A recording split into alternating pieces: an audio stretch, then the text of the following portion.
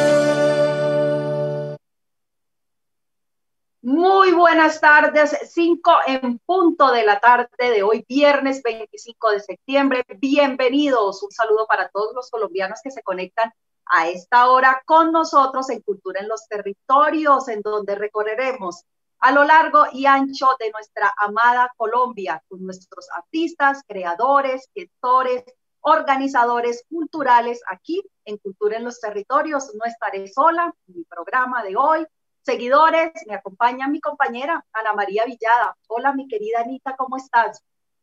Un saludo, Vanessa, para ti, para todos los colombianos que se conectan a esta hora con nosotros. Una tarde de viernes feliz, agradecidos de estar nuevamente en sus hogares llevándoles las mejores historias culturales y artísticas de nuestro territorio, porque recuerden que Cultura en los Territorios es un espacio creado por ustedes y para cada uno de ustedes. Por eso, Vane, ¿qué te parece si comenzamos alegrándole la tarde a los colombianos con una de nuestras secciones preferidas, preferidas porque nos antoja y nos llena de ese sabor de nuestro territorio, y es la sección de delicias de mi tierra. Vane, te cuento que hoy les tengo una receta muy especial y muy tradicional de la región de Boyacá, y es el cocido boyacense, un plato tradicional no solo por todos los sabores que tiene en sí, sino porque es un plato con un gran sello histórico en esta región, así que los dejo con esta receta.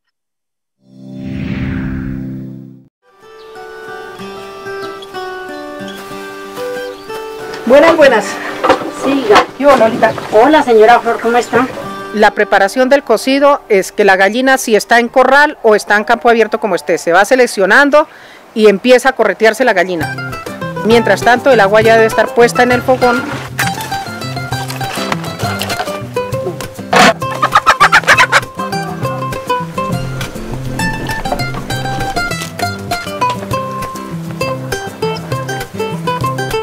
muy bien lavada, se le echa el manojo de, hierbas o especias que llamamos y con sal y se lleva a la, a la olla. En esta olla se le echa la uyama y la zanahoria y la mazorca para que vaya cocinando.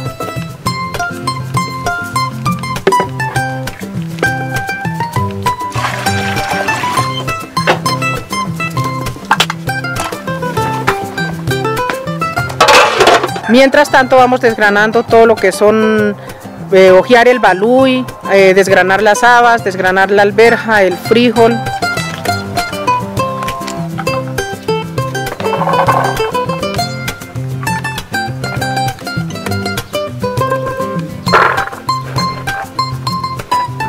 La papa criolla lavarla muy bien, la papa de año, o sea la papa de año riche, bien lavadita, la racacha pelarla, rajarla,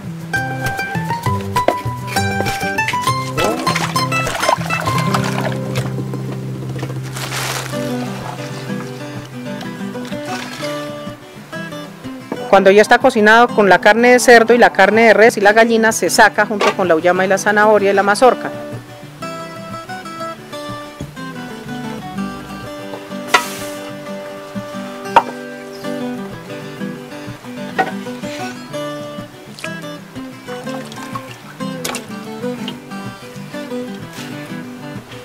En este caldo es que se cocinan todo lo demás, lo que son la ruba, los nabos, las cibias, la racacha, la variedad de tanto papa criolla como papa de año, o sea, riche, habas, alberja, baluy, frijol, todo se cocina en este caldo.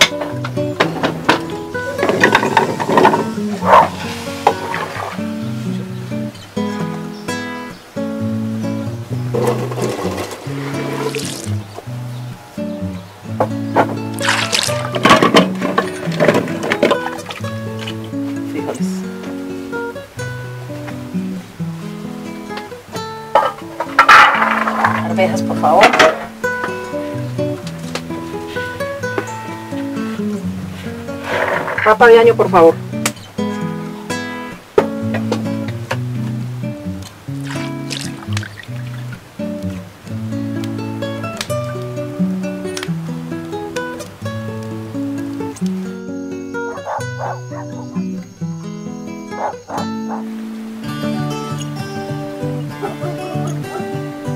Cuando ya está cocinado se va sacando por parte separada, porque todo se debe cocinar por separado en ollitas de barro en lo que se pueda. Y se va sacando, se echa en un pailón.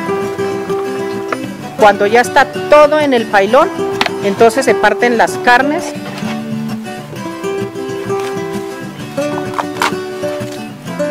y vamos hirviendo en un plato de barro preferiblemente que esté decorado con hojitas de higuerilla.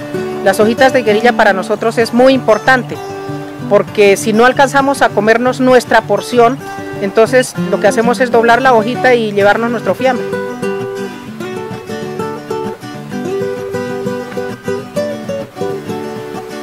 ¿A qué hora puedo probar? Desde ya. Ah, bueno, entonces... Buen provecho. Esto está muy rico.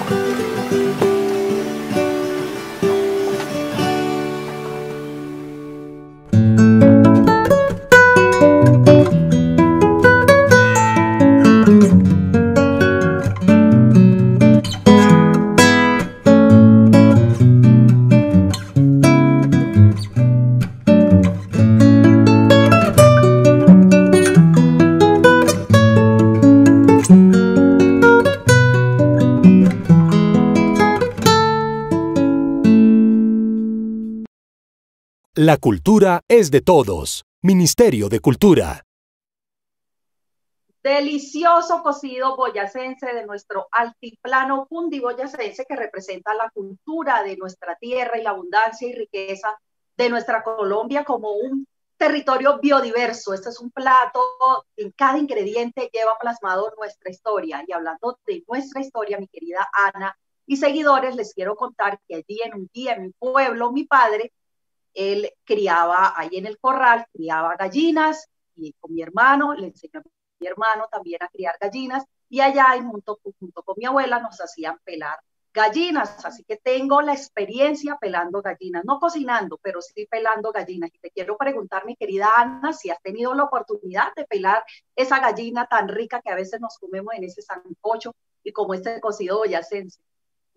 Pues yo te cuento, mi papá también llevaba las gallinas de la plaza de mercado y era un juego quitarle las plumas. Ahora de grande yo sí le dejo la tarea a mí que desplume la gallina para el sancocho. Así nos toca también, mi querida Anita, ya ellos están, les gusta la cocina, mi esposo también, y ahí ellos han estado entrenados haciendo la cocina, nosotros la pelamos y ellos la cocinan. Así es, Vane. Bueno, como tú lo mencionas, este delicioso plato que tiene un sello histórico y cultural, agradecemos mucho al Parque Explora por compartirnos esta receta, por rescatar el talento de la gastronomía. Y hay que destacar, Vanessa, que la cocinera que eh, nos mostró esta deliciosa receta hace parte de las cocineras tradicionales que apoyan el Ministerio de Cultura. Así que qué bonito contar estas historias de nuestro territorio. Vane, a esta hora nos llegan varios saludos. Quiero que nos conectemos con todas esas personas que están en este momento con nosotros. Así que te invito a que los saludemos. Nos saluda Miguel Ángel Zúñiga, nos dice saludos, éxitos y bendiciones para todos. Gracias, Miguel Ángel. También Milena Martínez dice nuestra comida desde el campo. Es verdad, es muy cierto, la comida y la gastronomía de nuestro campo colombiano es motivo de orgullo y de sabor. Vane, ¿tú tienes más, más saludos a esta hora? Claro que sí, nos saluda Efren Aguirre Triana, dice excelente programa. Yamile Rodríguez Rodríguez también dice qué delicia, me antojé. La Casa de la Cultura en Restrepo, Rigoberto Vinasco, Vanessa, buena tarde, buena tarde también para ustedes. Los saludamos desde Cultura en los Territorios y queremos que estén pegaditos siempre a nuestro programa porque estamos cocinas tradicionales a lo largo y ancho de nuestro país, en donde todos todos tienen cabida porque este es un programa de ustedes y para ustedes, mi Así es, Vane. Hoy les vamos a compartir un recuerdo cultural en nuestra sección de TV Cultural que tiene que ver con las artesanías, los artesanos que, como tú lo mencionas, también demuestran la diversidad de nuestro territorio, tantas culturas, tantos saberes ancestrales que se reúnen precisamente en estas artesanías. Hoy los invito a ver el trabajo de Arte Nativo, un grupo de artesanos que se encuentra en la ciudad de Bogotá.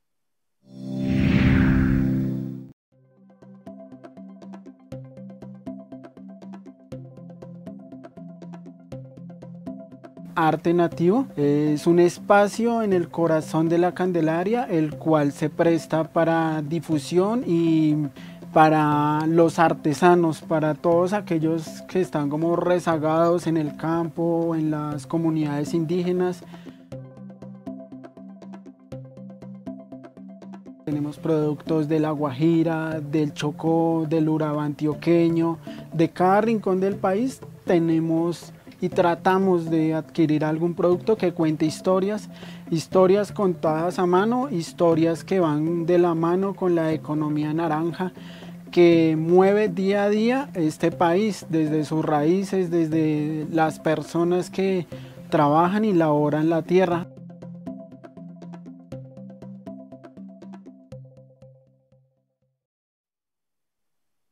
Gracias por continuar con nosotros, seguidores. Nos saluda también Gentilicio, dice Carmencita, saludos, Vanessa, gran sombrero, muchas gracias, es de Córdoba, de los tejedores de Córdoba, nuestros artesanos. Bueno, ahora hablemos de una convocatoria muy especial que se realizó este año para apoyar el sector cultural. Nuestro sector en medio de esta pandemia que estamos viviendo es comparte lo que somos, el arte, la cultura y el patrimonio un abrazo de esperanza nacional, donde se entregaron 24 mil millones de pesos. Lo más interesante, Vanessa, de esta convocatoria es que nos permitió llegar a más de 900 municipios de todo el territorio nacional y eso precisamente es también lo que buscamos con nuestro programa Cultura en los Territorios, llegar a cada rincón de nuestro país con esas historias positivas, con esas historias llenas de talento y sobre todo de inspiración por eso el día de hoy les vamos a compartir uno de los testimonios de los ganadores de esta convocatoria, muy pendientes porque después de esta nota, Vanessa nos trae un invitado muy especial desde la región del Guaviare, la diversidad y sobre todo la cultura y las historias de ustedes aquí en Cultura en los Territorios.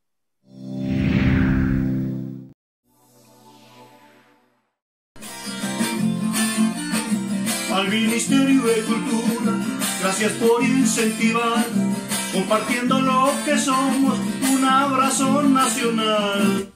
Mi nombre es Jacinto Amado y quiero agradecerle al Ministerio de Cultura por este gran apoyo que en mi caso nos motiva para seguir componiendo y creando y haciendo canciones. Muchas gracias Ministerio de Cultura. En este momento que estamos atravesando el país, le agradezco inmensamente. Gracias, gracias, gracias. La cultura es de todos. Ministerio de Cultura. Un saludo muy especial. Hoy estamos con Juber Salamanca. Él es el director de música del Guaviare. Queremos saludar a todos los habitantes de este bello departamento allí en el Guaviare. Bienvenido, Juber, a Cultura en los Territorios. Y cuéntame quién te acompaña, quién es el integrante, quién es la integrante. Bueno, buenas tardes. Eh, sí, mi nombre es Juber Salamanca, eh, director de la Escuela de Formación Teniendo Cultura. Hoy nos acompaña una integrante de este proceso que se llama Sofía Godoy.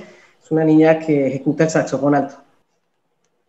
Juber, gracias por aceptar la invitación de Cultura en los Territorios. Hoy viernes, cuéntanos un poco de ese trabajo que haces allí en la Escuela de Música en el Departamento de Guaviare. Yo llevo aquí en Calamar 24 años trabajando. Eh, llegué como director de la banda en el año 96. Eh, la Escuela de Formación pues eh, se saca por acuerdo en el 2005 eh, tenemos música de cuerda, banda, tenemos joropo, tenemos danza. Son 250 niños que durante todo el año están trabajando. en este momento, pues la escuela de formación eh, no ha dejado de parar. Hemos trabajado, pues nos, hemos, nos ha tocado obligatoriamente como aprender sobre la tecnología para poder llegar a esos niños. Juber, tenemos que adaptarnos a estas nuevas normalidades y para poder em, continuar con ese proceso para que los niños ininterrumpidamente puedan seguir en su proceso musical. Cuéntanos cuáles han sido eh, los mayores logros que ha obtenido la Escuela de Música allí en el Guaviare. Bueno, la Escuela de Música ha tenido logros tan importantes como en el año 2006, donde el Ministerio de Cultura, pues la ministra nos da eh, una mención de honor por el trabajo que hacemos, pese a las dificultades, uno, de orden público, dos de orden económico, pues porque somos municipios de esta categoría y hemos mostrado siempre un trabajo que, pese a las dificultades, ahí hemos estado presentes.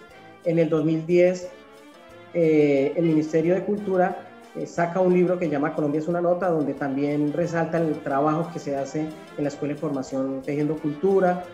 En el 2000 ya pues este año se han hecho ya algunos reconocimientos por parte de la gobernación donde nos han dotado de instrumentos para ampliar la cobertura de la Escuela de Formación Tejiendo Cultura, pero sí quiero comentar algo.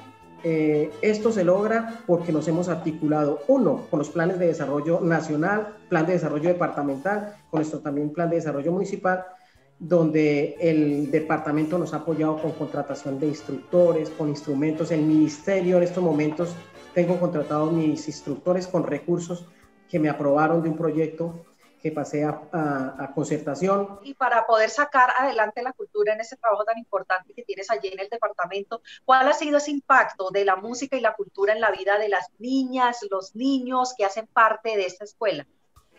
Bueno, el impacto que se ha tenido es que eh, por ser un municipio es esta categoría donde no tenemos muchos sitios donde puedan ir nuestros niños, no tenemos de pronto que dijéramos eh, teatros o diferentes sitios donde ellos puedan dedicar su tiempo libre a algo productivo. La escuela de formación ha marcado en los jóvenes, uno, un espacio de poder participar. Por acá han pasado alrededor de más de 400 niños y jóvenes, como lo digo, no solamente en lo musical, sino también en lo relacionado a la danza. Y eso ha marcado de que ya tenemos cantidad de gente profesional donde llegan y nos dicen gracias maestro o gracias administración por el trabajo que se hizo como escuela, porque no solamente aprendimos a tocar un instrumento, sino nos enseñaron a ser personas y gracias a la formación que nos dieron ahí, ahora hacemos parte pues, de la sociedad en unos buenos cargos a nivel de todo el país. Lo más importante, querido Juber, así es, el manejo del tiempo libre y poder que ellos lo empleen produciendo música, que, se diviertan y que sobre todo le puedan aportar también culturalmente a su municipio. Eh, ahora quiero preguntarle a quien nos acompaña, nuestra joven Sofía Godoy. Sofía, ¿qué es lo que más te gusta hacer en la escuela de música, sus instrumentos y cuáles son tus géneros preferidos? Eh, desde que inicié en banda, eh, he tocado el saxofón. Yo eh, creo, que ellos quitaron tocar algunos instrumentos, pero en el que nos debemos dedicar es en el que empezamos. Siempre nos dan la opción de poder eh, aprender a tocar otros instrumentos y lo que más hemos tocado acá son aquí canciones folclóricas del país y eso. Qué bien, eh, querida Sofía. Eh, ¿Cómo incentivas tú en tu casa? ¿Cómo lo ven tus padres cuando estás eh, tocando el instrumento? tienes hermanos, eh, los familiares, ¿cómo sienten cuando lo orgulloso que están de ti por tocar este instrumento y, aportar musicalmente allí en la familia y a tu municipio? Eh, sí, acá me apoyan mucho en, en eso. De hecho, cuando no, no, toco el instrumento me preguntan por qué no lo estoy haciendo. Debería utilizar ese tiempo que me queda para ensayar. Eres ejemplo no solamente allí en tu familia, sino también para, para tu región. Juber, em, ¿cuál ha sido ese trabajo que nos comentabas ahora, em, ahora con estas nuevas normalidades? O sea, desde casa, ¿cómo incentivan a los chicos para que no pierdan el ritmo? Al comienzo, pues primero fue como muy complejo para nosotros como institución, dijimos qué vamos a hacer para poder llegar a estos niños y buscamos las estrategias en que contábamos con los instrumentos y no le vi complicado en llevarle los instrumentos a cada niño en cada casa. Y utilizar el, el WhatsApp, acá el internet no es muy bueno que dijéramos, utilizar el WhatsApp, hacer tutoriales, de vez en cuando el instructor pues con las medidas de bioseguridad le hacía el acompañamiento, llevaba la partitura y hacíamos los montajes. Un mensaje final, querido Juber, ya para finalizar, para tus niños, las niñas allí en la escuela de música y por supuesto para todos los habitantes de, del Guaviare. Bueno, un mensaje, sigamos cuidándonos, cuidémonos, que es la manera de, en este momento pues de, de que estemos bien en nuestros hogares, pero ante todo cuidarnos. A los padres de familia, de los procesos, gracias, porque si no tuviésemos unos padres de familia que nos apoyaran a los niños, los procesos no surgirían.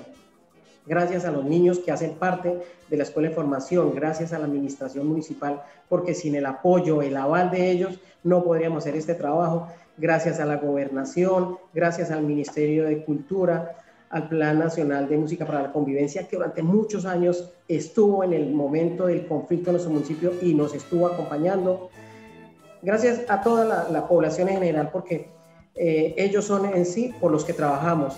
Y a ustedes, los medios de comunicación, que esto es lo que debemos hacer, mostrar la cara bonita de los municipios lejanos que están al centro del país, de que aquí estamos haciendo cultura, de que aquí estamos haciendo arte.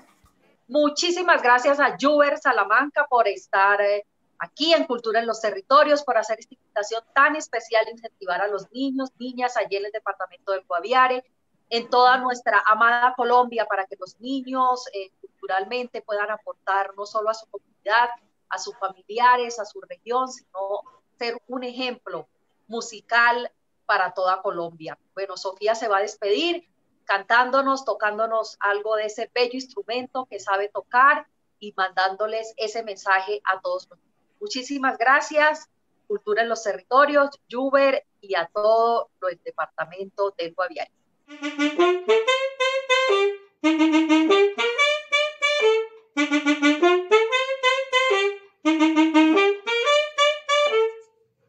gracias.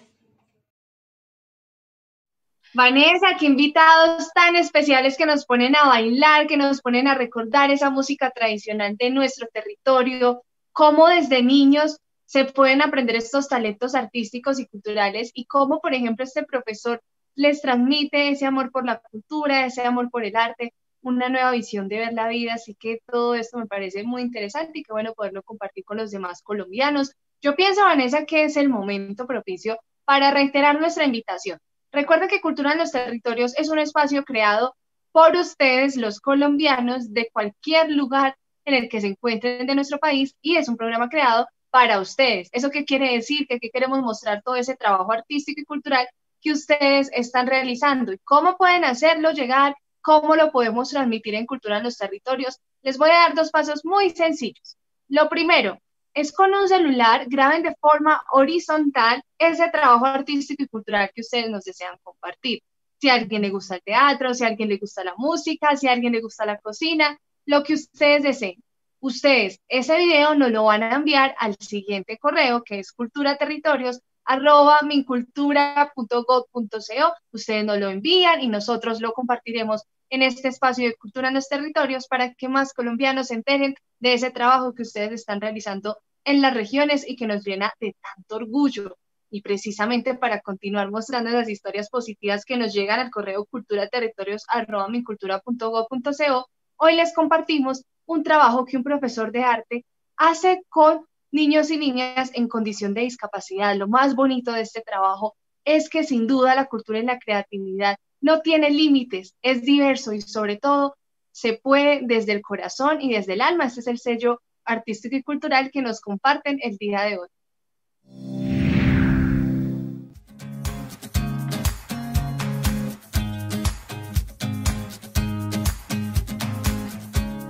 Toda actividad creativa es el resultado de una experiencia sensorial que intenta conectar el interior con el exterior. Lo que comunica cualquier actividad creativa es el resultado de un proceso de síntesis y reflexión personal frente a la realidad que permea cualquier individuo. Su mirada es transmitida por el objeto creado.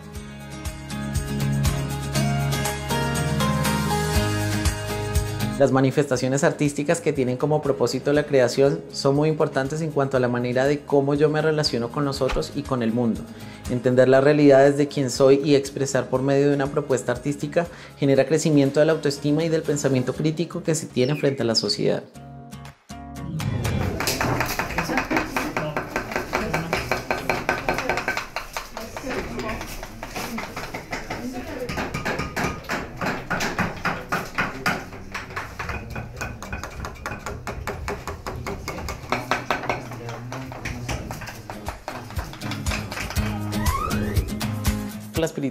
Pues tiene que estar conectada más como al, al yo, ¿no? Pues es más crecimiento personal.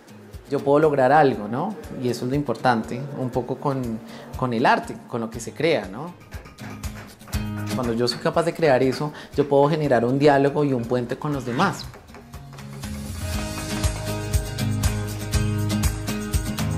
La discapacidad no existe, yo creo que existen las otras capacidades, porque entonces eh, negarle a alguien desde la palabra y desde el lenguaje, negarle que es capaz de hacer algo es algo muy impositivo, ¿no? Es negarle la posibilidad de que pueda desarrollar otras habilidades.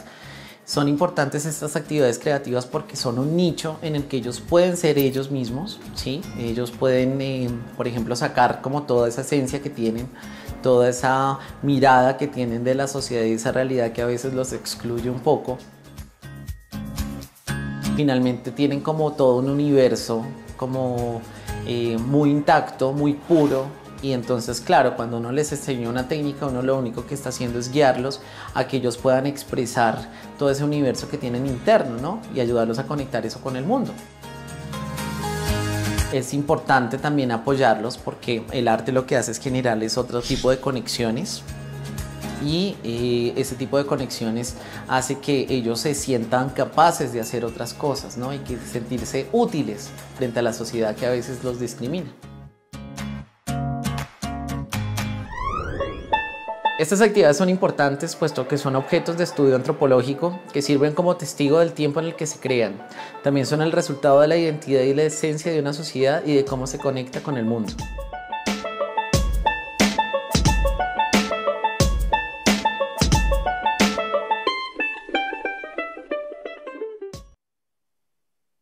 Muchísimas gracias por continuar con nosotros en Cultura en los Territorios. Aprovecho para saludar a la familia Sánchez Díaz, quien nos, nos manda muchos saluditos. Hola Ana, hola Vanessa, desde New Jersey. Muchas gracias, Patricia, por escribirnos. También Efren Aguirre Triana dice desde Aipe Huila, saludos, rica variedad de comidas. También Janet Orozco Osorio dice buenas tardes, los seguimos desde Calamar en el Guaviare. También aprovecho para saludar, dice Carti YouTube, hola, soy de Muso, Boyacá, pero estoy en Sucre, amo mi tierra. Nosotros también amamos mucho Boyacá, la tierra libertaria. También saludo en Sucre a la familia Mendoza, Mendoza Bustos, también había Mendoza Bustos que están ahí conectados y contando todas nuestras historias y llamen a sus familiares, todavía estamos a tiempo para que en Cultura en los Territorios nos escriban y recuerden que también nos pueden ver por YouTube y por el Facebook Live de Colombia Crea Talento. También tenemos por aquí a Caterín Quiroga, dice buenas tardes, también soy de Calamar, aquí presente, el Guaviare presente, un saludo muy especial al departamento del Guaviare, mi querida Anita, lo vamos a dejar con la agenda de esta semana.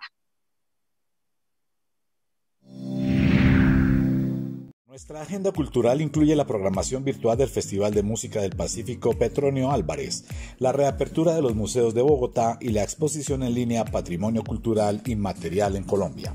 Para empezar, los invitamos a conectarse con el Festival de Cultura Afro más importante de Latinoamérica, el Festival de Música del Pacífico, que en su edición 24 se realizará hasta este domingo 27 de septiembre de manera virtual y multimedia.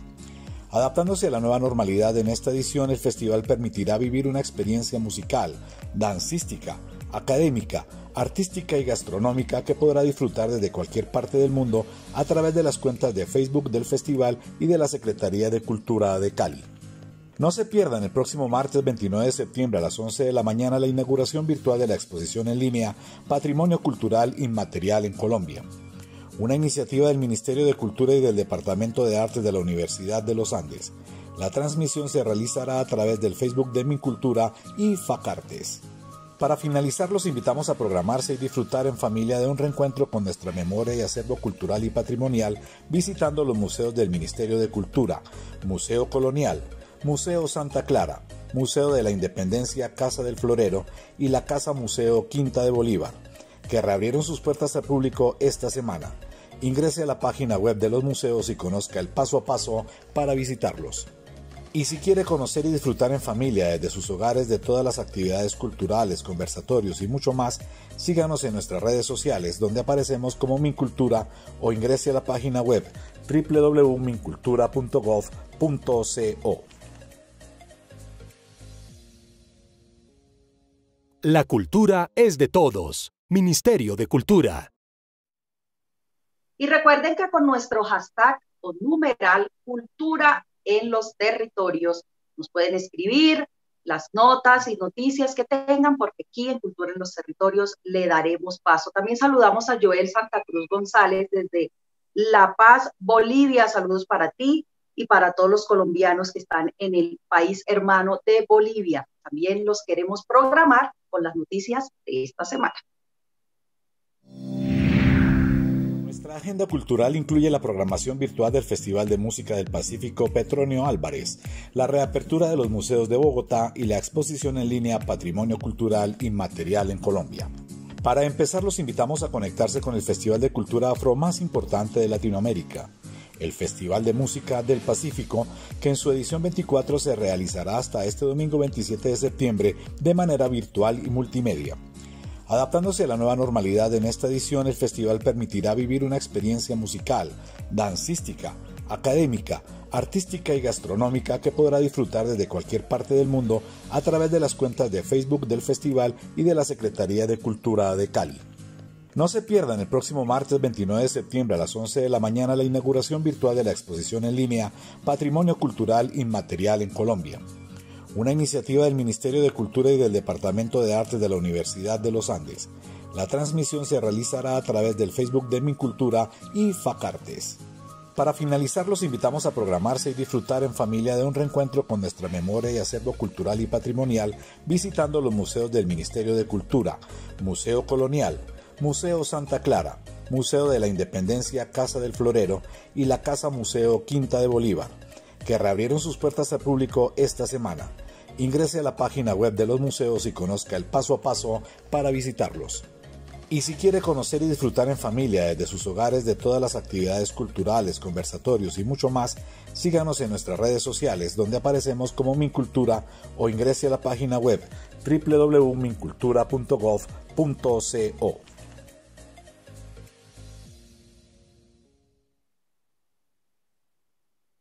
Gracias por continuar con nosotros en Cultura en los Territorios, con nuestro hashtag, nos escriben o numeral, Cultura en los Territorios. También les queremos contar que nuestra ministra de Cultura, Carmen Inés Vázquez Camacho, asistió al Teatro Municipal Enrique Buenaventura en la ciudad de Santiago de Cali, la sucursal del cielo, durante la apertura de las transmisiones directas de un festival que amo y quiero porque me recuerda mis raíces y es la música del Festival de Petronio Álvarez en su edición digital 2020. No nos las podemos perder a través de nuestras redes y también el Ministerio de Cultura estará allí programando y contándoles toda la agenda que se vivirá con el Petronio Álvarez en esta versión 2020, mi querida Anita.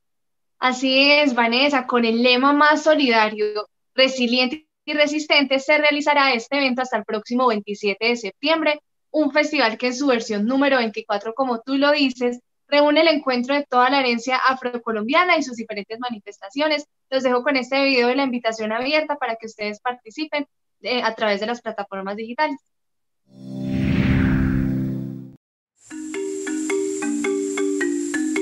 El Petronio nos brinda esa, oportunidad de, juntarnos en un festival que es el más importante, festival afro más importante de Latinoamérica. En esta oportunidad es un festival virtual, digital, por la pandemia, por las medidas de bioseguridad que tenemos que tener para evitar el contagio, pero eh, el mensaje es que aquí está el petróleo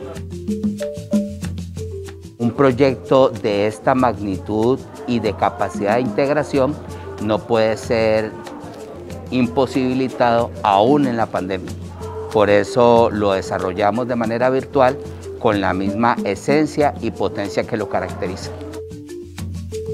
En este festival queremos agradecerle a la señora ministra, al Ministerio de Cultura, por su apoyo, por su contribución para que este festival siga perviviendo y siendo un referente de la cultura del Pacífico en el país.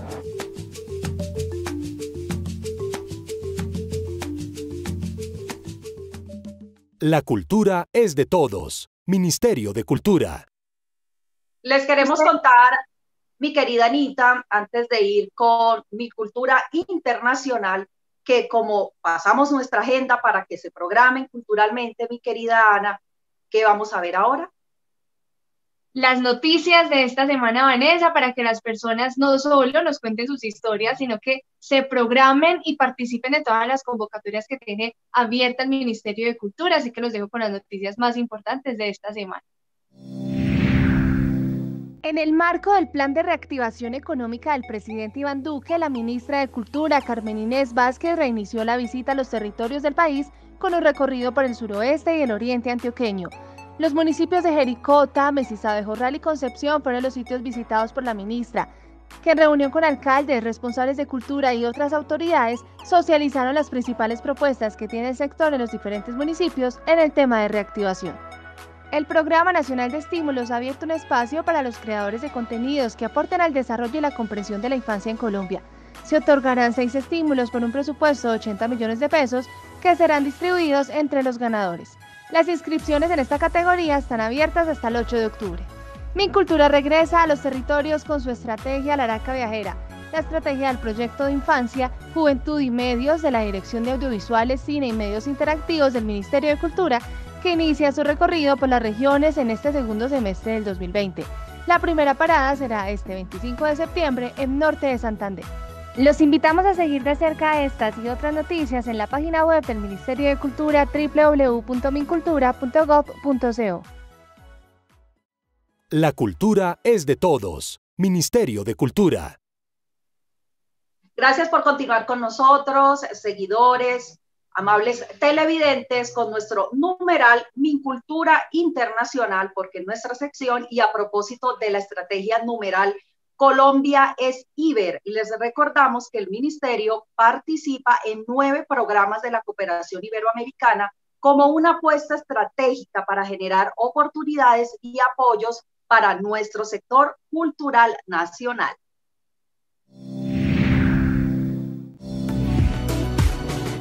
Hemos sido apoyados por el programa Iberescena para el desarrollo de nuestro proyecto Abejas Tapioca en 2018 y en 2020.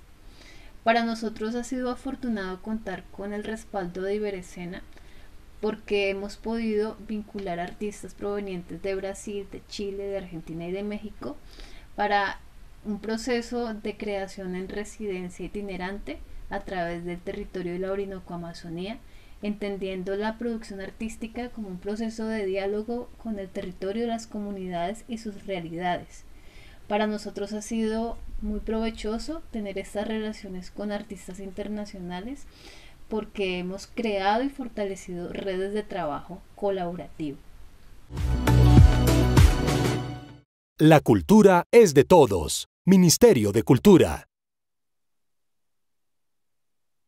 Seguimos en Cultura en los Territorios y les queremos contar que precisamente que ahora está abierta y hasta el próximo 15 de octubre la convocatoria Iberescena 2020-2021 en sus tres líneas de ayuda, creación en residencia, producción de espectáculos de artes escénicas y programación de festivales y espacios escénicos y los invitamos a conocer ese testimonio que acabamos de ver de Andrea Gutiérrez. También queremos saludar a esta hora de la tarde a Diana Patricia Martínez Lozano, que nos dice que se conecta desde Calamar en el Guaviare. Saludos también para ti y para todo el departamento del Guaviare que han estado muy atentos hoy a través de nuestra cultura en los territorios, porque tuvimos de invitado muy especial a Juber Salamanca de la Escuela de Música de allí del departamento del Guaviare. También, Anita, les queremos contar que los, nos tienes una invitación muy, muy especial para todos los colombianos para que se conecten próximamente con ese festival que también queremos mucho de música colombiano que se realiza, por supuesto, en la ciudad musical de Colombia, en Ibagué. Los dejo con esa amable invitación.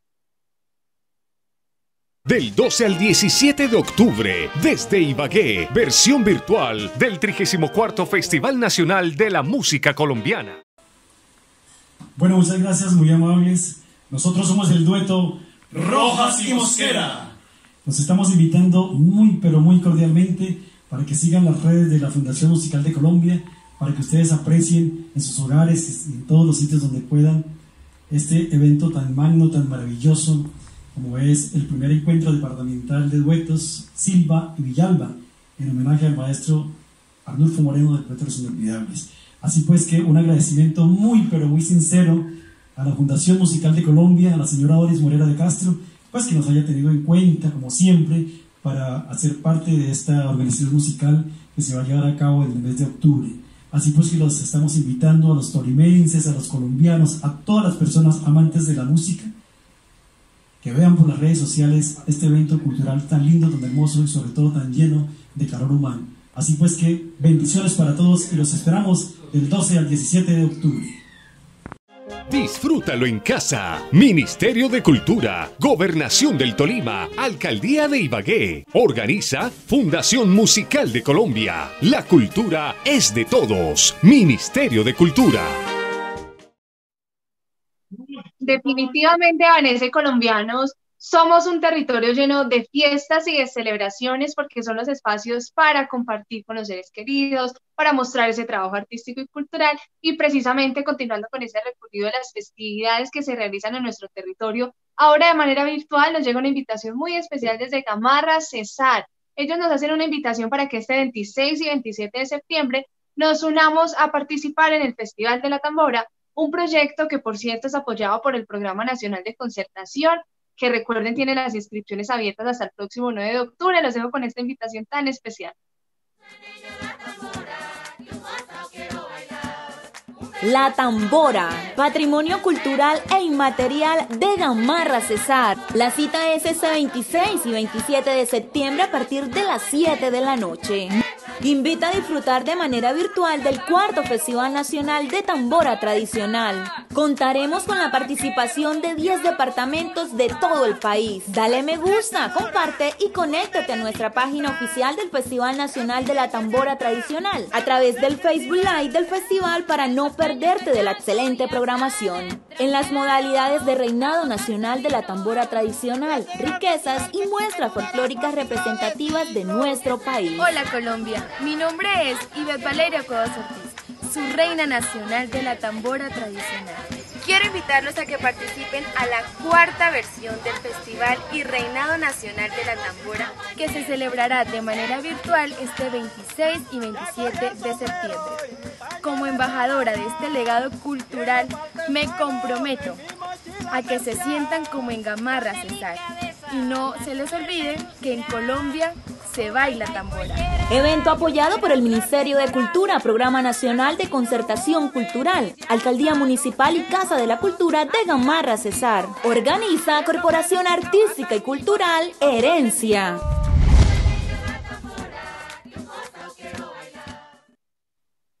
Y recuerden que nos pueden escribir a culturaterritorios.mincultura.gov.co también en nuestro numeral Cultura en los Territorios. Y también pueden entrar a nuestra página web www.mincultura.gov.co, donde encontrarán todas las noticias de nuestro Ministerio de Cultura. Recuerden que tenemos una cita infaltable todos los viernes a las 5 de la tarde en donde mostramos todos nuestros artistas, el talento de nuestros creadores y gestores culturales a lo largo y ancho de nuestro país. Yo soy Vanessa Mendoza, gracias por acompañarnos, mi querida Anita. Nos vamos despidiendo y no sin antes mandarles un gran saludo a todos los que se conectaron nacional e internacionalmente con nosotros. Viernes 5 de la tarde aquí en Cultura en los Territorios. Hasta pronto. Así es, Vane. Nos despedimos del programa de hoy pero yo sí quiero insistirles, nosotros en Cultura en los Territorios queremos llegar hasta el lugar más lejano de nuestro país, queremos rescatar esas historias creativas que nos hacen sentir tan orgullosos a nivel nacional e internacional como tú lo mencionas. Así que yo sí quiero despedir haciéndoles una invitación muy especial. Recuerden que este espacio es creado para ustedes los colombianos, por eso mismo queremos compartir todos sus talentos culturales en Cultura en los Territorios. ¿Y cómo lo pueden hacer? Yo ya les he dicho, parezco como una radio que repite este mensaje, pero es lo más importante de hacerlo porque queremos que ustedes con un celular graban de forma horizontal ese trabajo artístico y cultural que hacen ustedes desde sus regiones. Nos lo comparten al siguiente correo, culturaterritorios, arroba mincultura.gov.co, se lo repito, eh, culturaterritorios, arroba mincultura.gov.co. Allí esperamos este trabajo que ustedes están realizando, lo queremos compartir aquí en Cultura en los Territorios para que más colombianos se enteren de esto que ustedes realizan. Nos vemos el próximo viernes a las 5 de la tarde. Gracias por acompañarnos. Un saludo muy especial hasta sus hogares y nos despedimos con un bellísimo video que nos envían y nos comparten desde Abejorral, un municipio ubicado en el oriente antioqueño. Hasta el próximo viernes.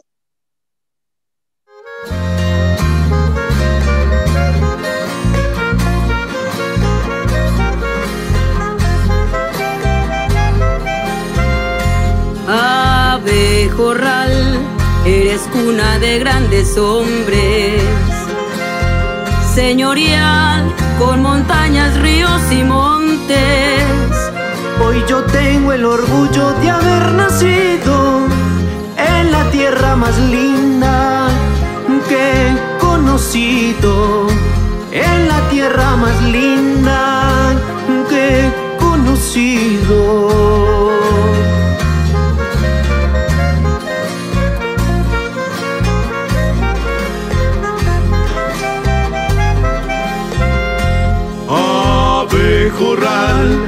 Eres cuna de grandes hombres. Señorial, con montañas, ríos y montes. Hoy yo tengo el orgullo de haber nacido en la tierra más linda que he conocido. En la tierra más linda que he conocido por tus calles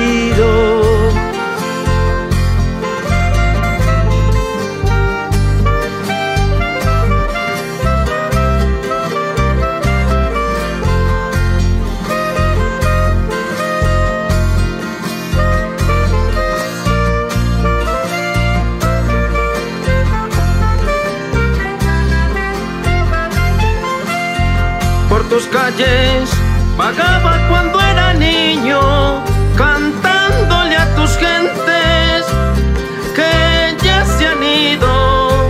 Hoy que regreso a ti